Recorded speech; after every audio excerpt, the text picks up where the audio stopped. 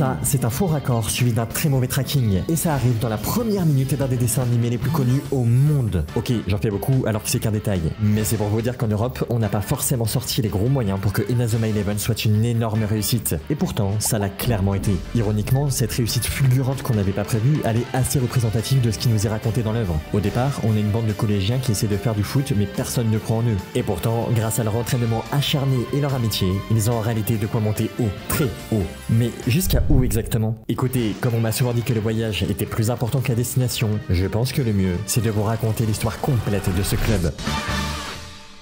Avant que la vidéo ne commence, je vais répondre à la question qu'on me pose le plus souvent. Turtoon, comment tu fais pour revoir les vieux dessins animés qui ne sont plus disponibles en France? Eh bien écoutez, j'utilise CyberGhost VPN. Et ça tombe bien, parce que c'est le sponsor de cette vidéo. Merci énormément à eux. Un VPN, si jamais vous l'ignorez, c'est une application qui permet de faire passer toutes vos infos dans un tunnel super protégé. Ça permet d'être totalement invisible et protégé sur internet. Par exemple, il va masquer votre adresse IP, chiffrer vos données et rediriger l'intégralité de votre trafic internet vers un tunnel sécurisé. Ça marche tellement bien que même sur les réseaux publics, vos données sont en sécurité. D'ailleurs, si jamais vous ne passez pas par des plateformes de streaming souvent utilisées pour voir vos séries ou dessins animés, la protection de CyberGhost VPN est clairement nécessaire. Ce serait dommage de se faire pirater vos données perso parce que vous vouliez revoir une deuxième fois My Little Pony. Et de toute façon, vous n'auriez même pas eu besoin de passer par des sites chelous parce que CyberGhost VPN fait plus que vous protéger. Il change votre localisation en ligne. Ça veut dire que l'appli vous offre l'accès au contenu géorestreint de plus de 35 services de streaming, comme les catalogues de Netflix, Amazon Prime et Disney Plus des autres pays moi, je suis un grand fan de cartoons et d'animés, donc évidemment les catalogues américains et japonais me font de l'œil. Mais si par exemple votre truc c'est les courses de moto, vous pouvez vous géolocaliser en Belgique grâce à CyberGhost VPN et vous profiter d'une tonne de courses dispo sur les chaînes locales. C'est facile à utiliser sur Windows, macOS, Android, iOS et même sur Smart TV et console. Et en plus, un seul abonnement sécurise 7 appareils, donc vous pouvez en faire profiter votre famille ou vos amis. En cas de besoin, il y a un service client en français, dispo 24h sur 24, 7 jours sur 7. Et le plus beau dans tout ça, c'est qu'en ce moment, il y a 83% de réduction plus 4 mois offerts, ce qui vous revient à seulement 2 euros par mois. Une très bonne offre pour rejoindre les 38 millions d'utilisateurs satisfaits sur Trustpilot. Et si vous n'êtes pas convaincu, il y a une garantie satisfait ou remboursée pendant 45 jours. C'est sans risque, alors cliquez sur le lien en description pour essayer CyberGhost VPN.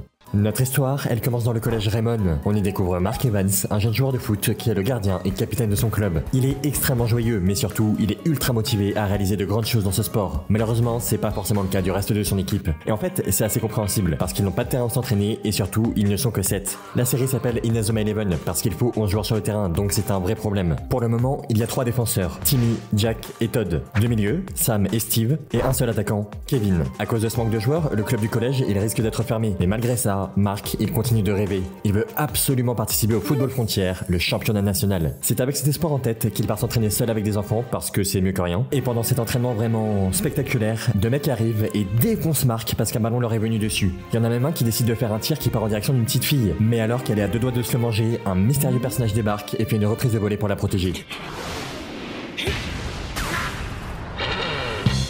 Sa frappe est magnifique, mais surtout, elle assomme un des deux crétins et ils vont prendre la fuite. Bien fait. Ce mystérieux personnage, on apprendra plus tard qu'il s'appelle Axel Blaze et que c'était un des meilleurs attaquants du pays. Mais pour une raison obscure, il a décidé d'arrêter de jouer au foot. Alors quand Marc va lui proposer de rejoindre son équipe, il va juste partir sans rien dire. Le gardien des Raymond va retourner chez lui pour parler de tout ça à la photo de son grand-père décédé. Ah ouais, il se sent vraiment seul. Son grand-père, il aimait visiblement beaucoup le foot, si on en croit le ballon et les gants de gardien qui sont dans sa photo. À ce moment-là, Marc, il va faire le vœu de revoir le garçon qu'il vient de rencontrer. Évidemment, le lendemain, Axel arrive dans sa classe. Mais c'est clairement pas le seul événement notable de la journée, parce que Marc, il est aussi convoqué dans le bureau du directeur. Il apprend qu'il va disputer un match contre la Royal Academy, l'équipe la plus forte du Japon. Et une jeune fille qui est aussi présente ajoute que s'il perd, le club sera fermé. Cette fille, c'est Nelly Raymond, et oui, elle a le même nom que le collège, donc autant vous dire que son papa, c'est quelqu'un d'important. Donc si elle te dit qu'il vaut mieux que tu gagnes si tu veux continuer de jouer au foot, bah tu la prends au sérieux. Mais avant d'envisager de battre qui que ce soit, il faudrait déjà avoir une équipe, et pour le moment, il n'y a que 7 joueurs chez les Raymond. Donc il va falloir Sauf que le club, il est tellement nul que personne n'a envie de le rejoindre. Il y a un truc qui n'est pas dit dans l'animé, mais qui est plus clair dans le manga et les films. C'est qu'il y a un an qui sépare l'annonce du match du jour où il a lieu. Et le jour J, bah, il manque encore un joueur. Entre temps, il y a bien eu Nathan, Maxwell et Jim qui ont intégré l'équipe. Mais 7 plus 3, ça fait 10, et on peut pas dire que les nouvelles recrues, elles aient une grande connaissance du foot. Ok, ils ont finalement réussi à se motiver et à s'entraîner dur tous ensemble. Oui, Marc commence à devenir sérieusement bon, grâce à l'entraînement qu'il suit et qui est écrit dans un carnet qu'a laissé son grand-père. Mais là, on parle de la meilleure équipe du Japon, et il manque toujours quelqu'un. Il faut un sauveur. Surtout que la Royal Academy arrive et ils sont pas là pour déconner. On parle d'une équipe à qui on déroule le tapis rouge quand même. On est d'accord, ils en font un peu trop. Mais c'est vrai que ça met quand même une pression de fou. Et quand on voit Jude, leur capitaine, on se dit que ce mec, il peut très certainement battre à lui seul toute l'équipe Raymond. Le mec que vous voyez à l'écran, c'est Redark, leur entraîneur. Et je le précise, même si c'est pas forcément nécessaire vu son nom et sa dégaine, mais ça va être le grand méchant de la série. Finalement, Raymond va trouver un onzième joueur qui est juste là pour jouer les sauveurs, mais il est nul. Mais de toute façon, il n'y a pas de suspense, ils ont clairement pas le niveau. On parle de 10-0 à la mi-temps, puis 20-0 à la reprise. En fin de match, la Royal Academy se permet même d'humilier Marc. En fait, les meilleurs joueurs du Japon, ils attendent juste un truc. C'est que Axel se montre pour savoir s'il est encore digne de sa réputation d'attaquant hors du commun. Et Axel va finir par apparaître et enfiler le maillot des Raymond. Il va bien évidemment mettre un but incroyable avec une super technique qui prouve à tout le monde que c'est un joueur formidable. Mais ce qui est vraiment étonnant, c'est que Marc va lui aussi sortir une super technique grâce à sa détermination.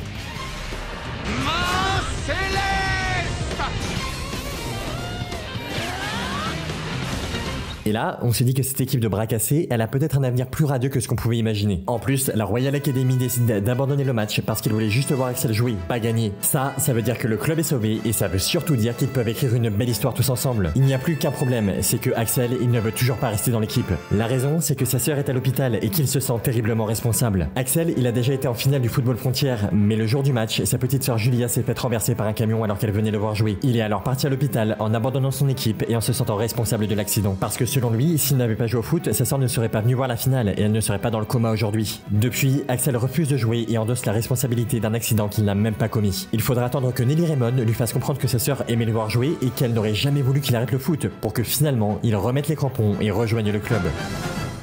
Cette équipe, qui n'était rien aux yeux du monde, va commencer à avoir une vraie cohésion grâce à Axel et Marc notamment. Ils vont même commencer à gagner des matchs et devenir plutôt forts. D'ailleurs, ils ont carrément des managers, Sylvia, Celia et Nelly, que vous connaissez déjà. Et un entraîneur, Monsieur Wintersea, qui proposera à Bobby, un nouveau personnage, de rejoindre l'équipe. Tout commence enfin à aller bien pour eux, mais un peu trop justement. Vous vous souvenez de Redark, l'entraîneur de la Royal Academy? Je vous ai dit que ça allait être le grand méchant de la série, et il est temps de vous expliquer pourquoi.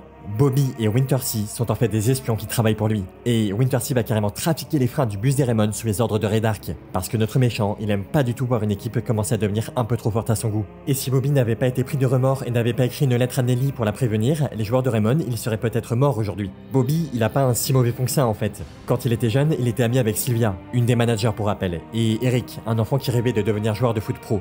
Mais un jour, Eric a eu un accident mortel.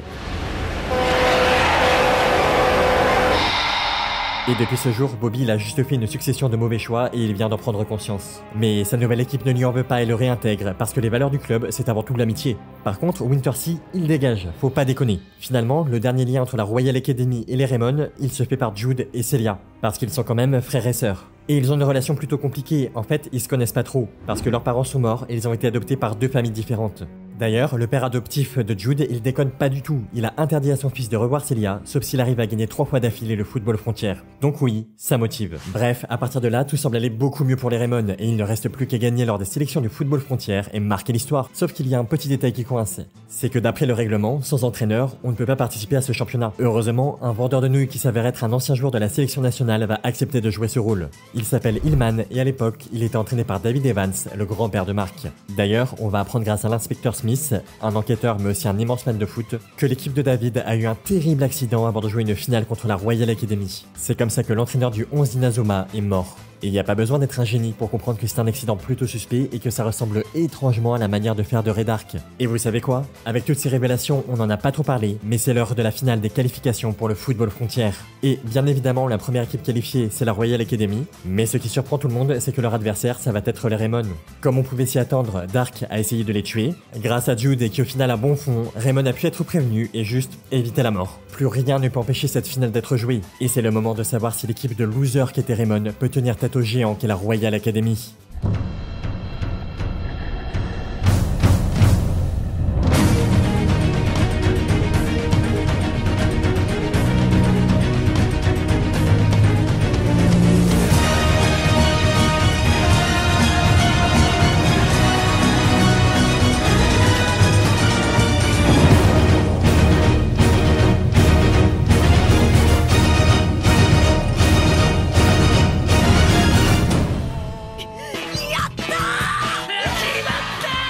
Victoire, elle est magnifique. Elle permet à l'équipe de Raymond de se qualifier pour le tournoi dont elle rêvait. Mais surtout, elle a libéré la Royal Academy de l'emprise de Redark. Et elle a aussi permis à Jude et Celia de se retrouver. La dernière bonne nouvelle, c'est que la Royal Academy a gagné la finale du dernier football frontière. Ce qui veut dire qu'elle n'avait pas besoin de cette victoire pour être qualifiée. Elle l'était d'office. En fait, le seul perdant à la fin du match, c'est Dark, parce qu'il va être arrêté par la police. Enfin temporairement, parce qu'il va réussir à s'évader et disparaître. Quoi qu'il en soit, le football frontière peut commencer et il est temps de savoir si Raymond peut vraiment être la meilleure équipe du Japon Bon, en vrai, il n'y a pas vraiment de suspense, ils vont évidemment se qualifier pour la finale. Par contre, ce qui est vraiment étonnant, c'est que l'équipe championne en titre va perdre 10-0. Les responsables de ce massacre, c'est l'équipe Zeus. Ils sont assez mystérieux et on sait pas grand chose sur eux. C'est à ce moment que Jude, qui est vraiment devenu quelqu'un de bien, va intégrer les Raymond pour continuer la compétition. D'ailleurs, c'est pas le seul à rejoindre l'équipe, parce que Eric, un mec plutôt doué, est lui aussi intégré. Et oui, c'est bien l'enfant qui était ami avec Sylvia et Bobby et qui était normalement mort. Mais en fait, après l'accident, il pouvait juste plus jouer au foot.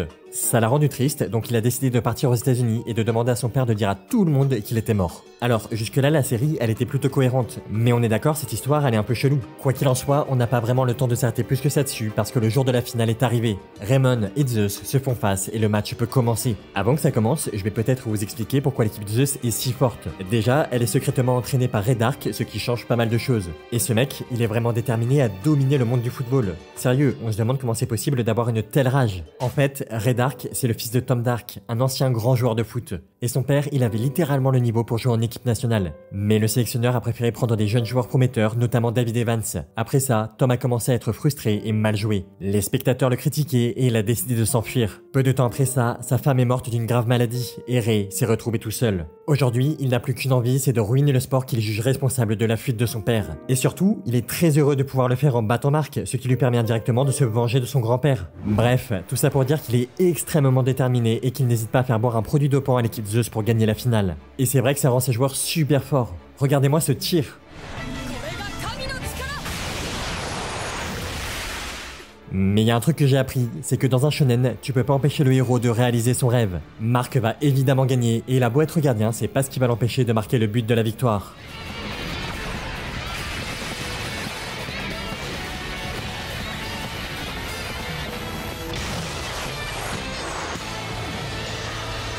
Elle est quand même belle cette équipe de perdants qui n'arrivait même pas à avoir 11 joueurs sur le terrain. Champion du Japon, rien que ça. Mais surtout, ils ont réussi à faire comprendre à tout un pays que leur sport, il se gagne grâce à l'amitié et la détermination. Après ça, l'équipe Zeus va être libérée de Ray Dark. D'ailleurs, on va apprendre que Ray, il est aussi responsable de l'accident de la sœur d'Axel. Et assez ironiquement, au moment où il est une nouvelle fois arrêté par la police, Julia sort du coma. Est-ce que vous savez ce qui attend des joueurs qui ont remporté leur championnat national? La Coupe du Monde, oui, logique, mais avant ça, bah les Raymond, ils vont affronter des extraterrestres qui ont détruit leur collège. Des aliens qui jouent au football se sont mis en tête de vaincre des équipes pour ensuite détruire leur collège. Ils sont plutôt forts. D'ailleurs, ils vont battre Raymond 20-0. Bon, ok j'ai menti, ils paraissent carrément imbattables. Donc, il va falloir faire des changements dans l'équipe pour la rendre beaucoup plus forte. Le premier qui va être fait, c'est quand Tillman va quitter son poste de coach. Il ne va pas vraiment donner d'explication et il va céder sa place à Akilina Schiller. Rien à dire sur elle, elle est juste beaucoup trop mystérieuse. L'équipe va monter dans un van pour sillonner le Japon en quête de nouveaux joueurs encore plus forts. Bon, j'ai commencé à vous écrire tout un truc pour vous parler des nouveaux joueurs et de ceux qui vont quitter l'équipe.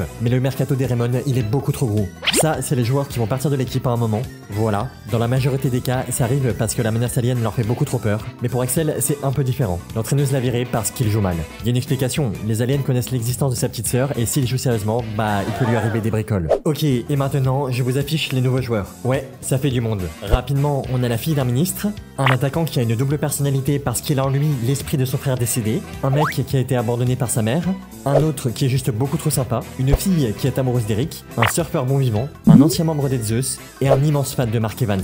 Durant cette saison, les Raymond vont affronter des équipes extraterrestres de plus en plus fortes et qui disent toutes venir de l'académie Alius.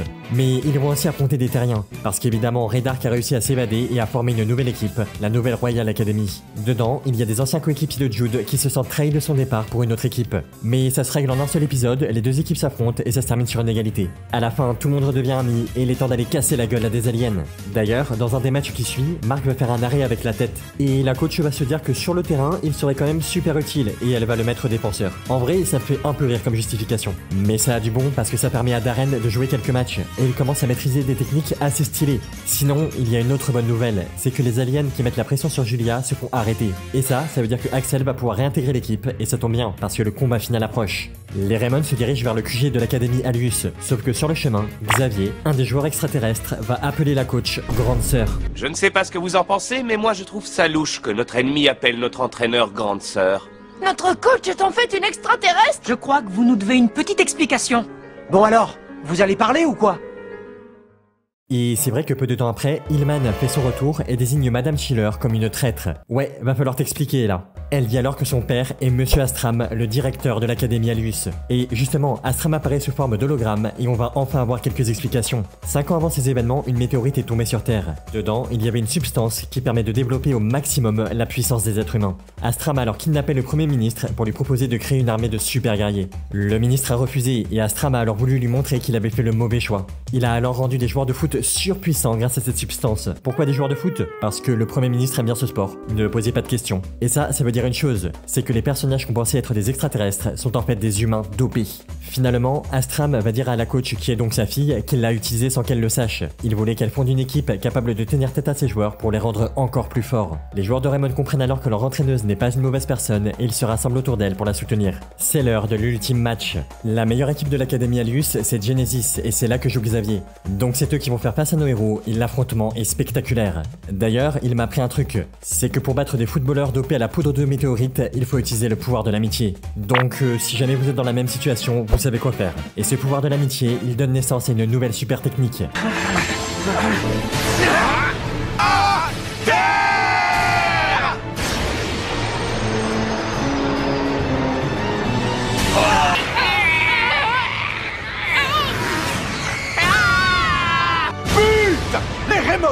La situation au tableau d'affichage Raymond va gagner ce match. Mais ce qui est vraiment beau, c'est ce qui vient après. Vous vous rappelez de Xavier? Bah en fait, c'est pas son vrai nom. Astram l'a appelé comme ça en souvenir de son fils décédé. Et tous les joueurs qu'on voit depuis le début, c'est pas vraiment ses enfants. En fait, Astram c'est plutôt quelqu'un de gentil.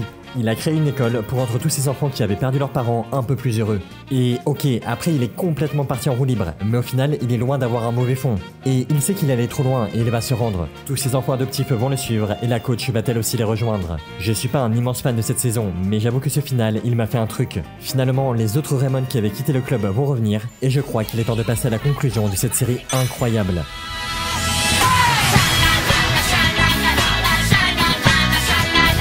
Mais il y a quand même une étape avant le championnat du monde. Il faut que le sélectionneur japonais ait une liste de seulement 16 joueurs. Et ça, c'est tous ceux qui ont une chance d'être choisis. Ouais, ça fait beaucoup de monde. Parmi eux, il y a un joueur que vous ne connaissez pas et qui a pourtant une grande chance d'être pris. Il s'appelle Austin et c'est un des meilleurs attaquants du monde.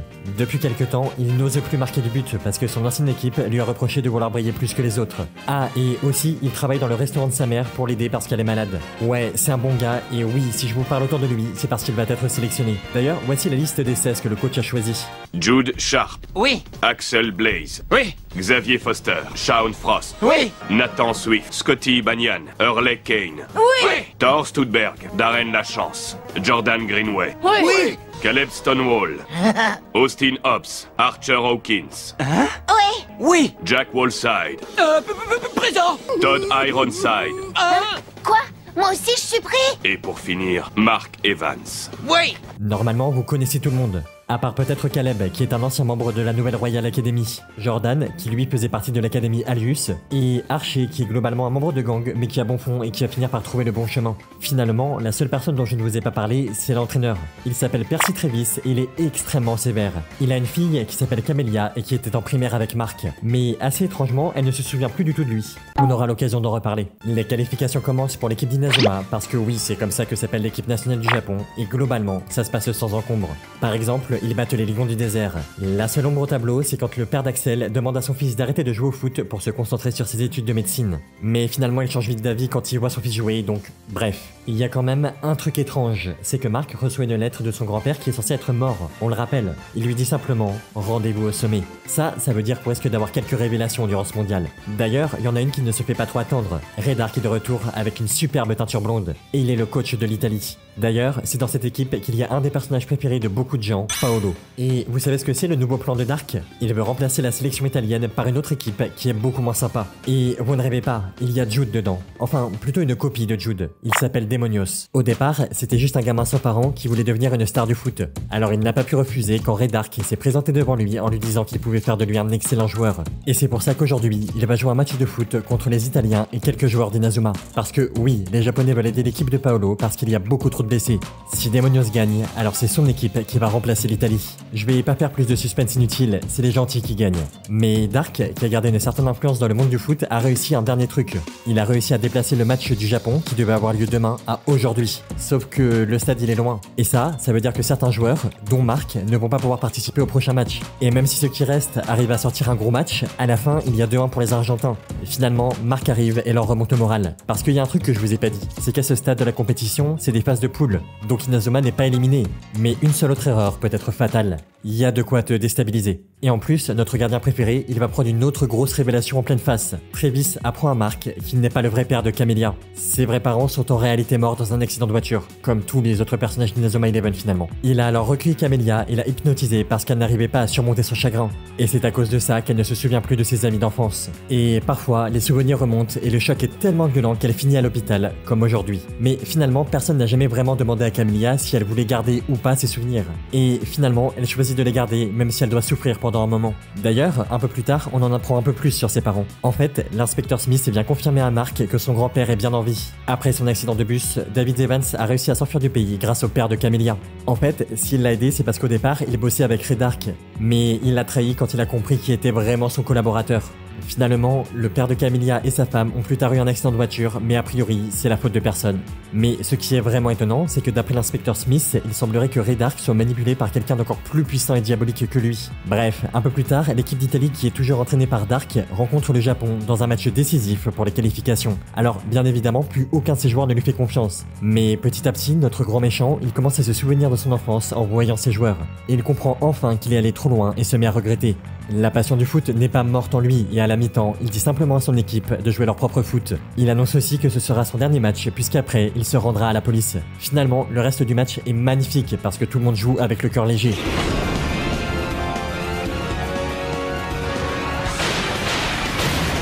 Et à la fin, il y a 3-3. Ce qui veut dire qu'Inazuma est potentiellement éliminé en fonction des autres résultats de la poule. Mais ce qui est vraiment marquant, c'est pas tellement le résultat. C'est qu'on apprend que Dark, il a été cruel, mais il s'en est toujours voulu. La preuve, il a payé les soins d'hôpitaux à une enfant pour qu'elle puisse retrouver la vue. Finalement, c'est sans regret qu'il laisse la police l'emmener. Mais je vous ai dit que Red Dark, il avait un supérieur. D'ailleurs, il s'appelle Rice. Et il est à la tête d'une sorte de mafia. Et on quitte pas la mafia comme ça.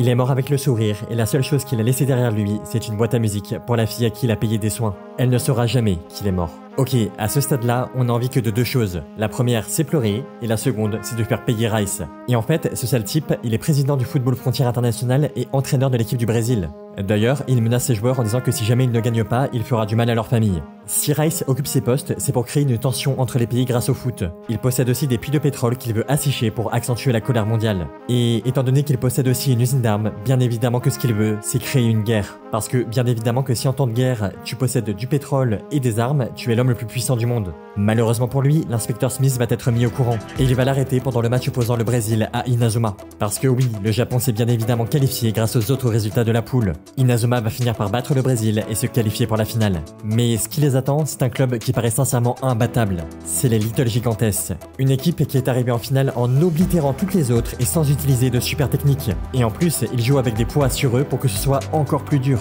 Une équipe comme ça, elle a forcément un entraîneur incroyable. Et c'est totalement le cas, parce qu'il s'agit de David Evans. Jusque-là, il cachait son identité et simulait sa mort parce qu'il avait peur de Rice. Mais maintenant, il peut enfin se montrer et retrouver son petit-fils. Et après ça, ils vont aussi se retrouver en face à face, en finale. L'équipe de Mark Evans va affronter celle de David Evans. Le coup de sifflet est donné et le match commence.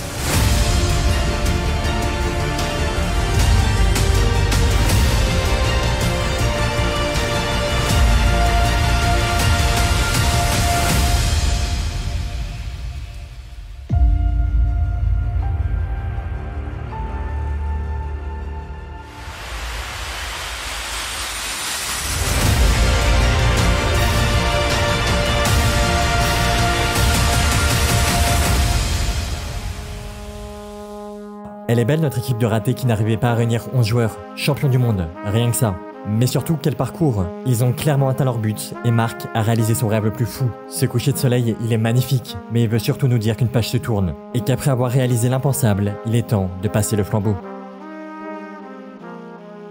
Encore merci à CyberGhost VPN de nous avoir aidés. Profitez de leur offre spéciale pour accéder à vos dessins animés préférés partout dans le monde et devenez incognito sur internet. Satisfait ou remboursé pendant 45 jours. Lien en description et en commentaire.